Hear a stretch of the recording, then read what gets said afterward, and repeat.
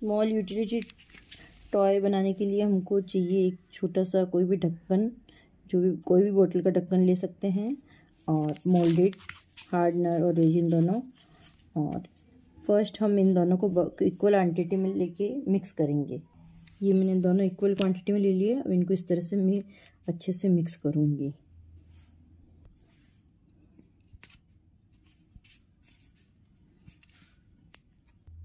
ये इन दोनों को हमने इतना मिक्स करा कि पूरा एक ही कलर दिखने लगे अलग अलग कलर बिल्कुल भी नहीं दिखना चाहिए।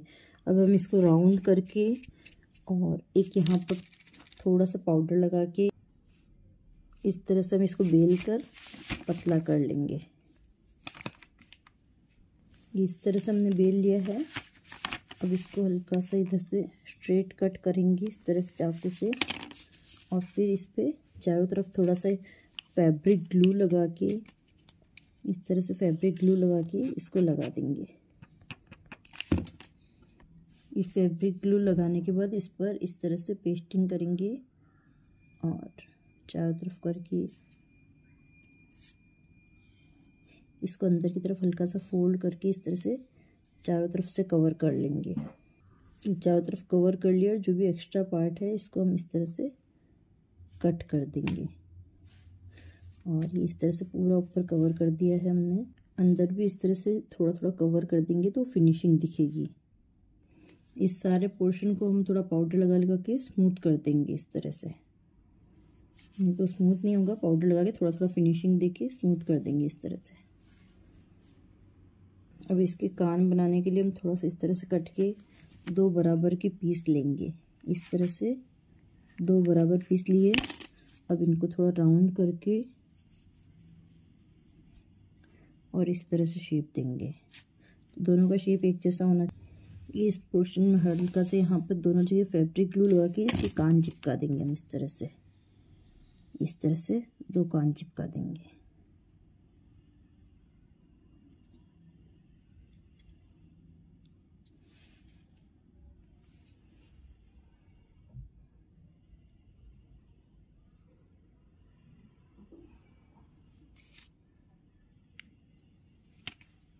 इस तरह से हमने कान बना दिया। अब लेग बनाने के लिए भी दो बराबर के पोर्शन लेंगे।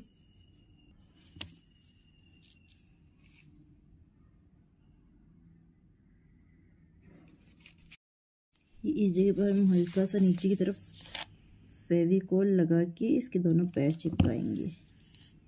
इस तरह से यहाँ चिपका दिया, इसी तरह दूसरी साइड में भी चिपकाएँगे।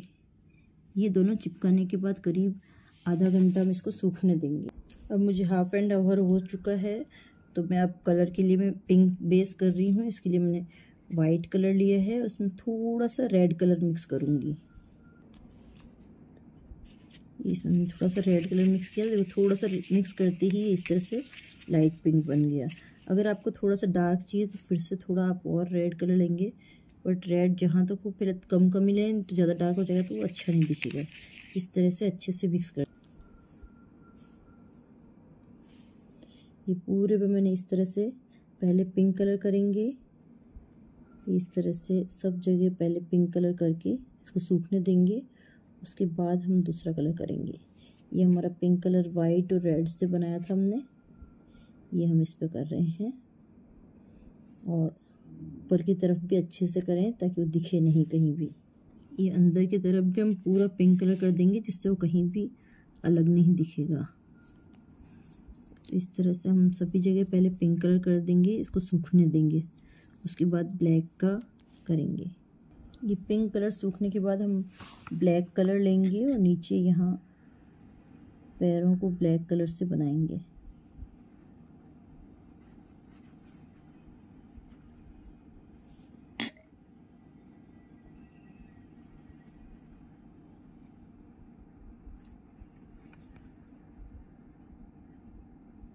ये इस तरह से ब्लैक कलर करेंगे। बहुत ही फिनिशिंग से करना है ये काम। और कान को भी बीच में ब्लैक कलर दे देंगे इस तरह से।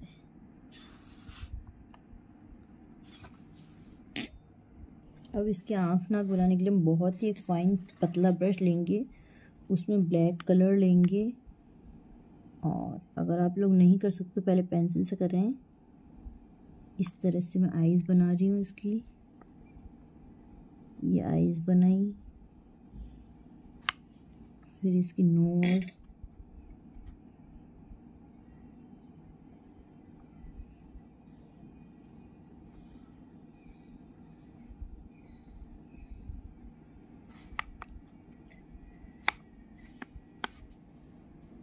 इस तरह से इसका क्यूट सा फेस बनाया हमने। यहाँ पे इसकी एनिमल की लाइंस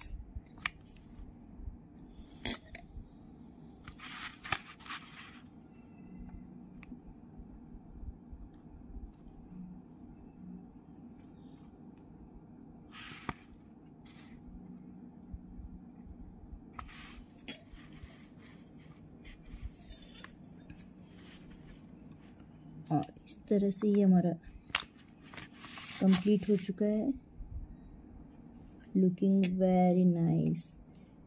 Try and comment. आप ट्राई करो और कमेंट करो कि आपको ये कैसा लगा और कुछ नए नए मोल्डेड की जो भी आप चाहते हैं, मुझे ज़रूर से लिखें।